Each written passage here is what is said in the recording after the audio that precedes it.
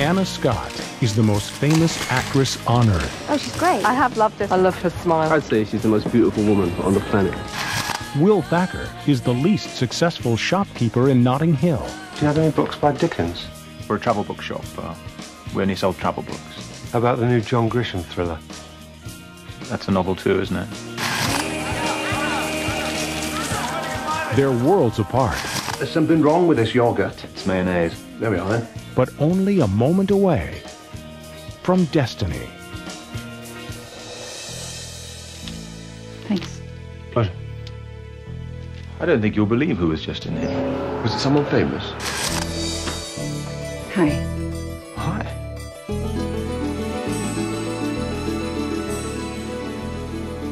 Probably best not to tell anyone about this. I'll tell myself sometimes, but don't worry, I won't believe it. There's this girl. But you absolutely mustn't tell anyone else, okay? It's Not Fergie, is it? To spend all your money, make you suck at toes. Oh my god, my flatmate. Hi. Thank you, God. You have a stunt bottom? I could have a stunt bottom. Then what do you put on your passport? Profession. Mel Gibson's bottom. Actually, Mel does his own ass work. right. Rita Hayworth used to say, men went to bed with a dream and they didn't like it when they woke up with reality. Do you feel that way? Yes, I do. No, you don't. Tomorrow, there'll be pictures of you in every newspaper from here to Timbuktu. Let's stay calm. No, you can stay calm. Anytime I've tried anything normal, it's just been a disaster.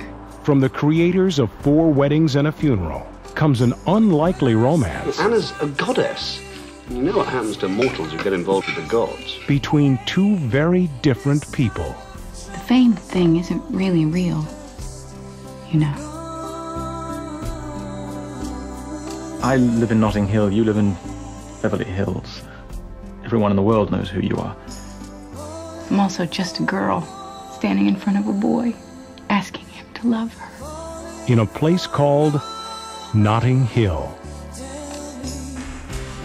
I wouldn't go outside. Why not?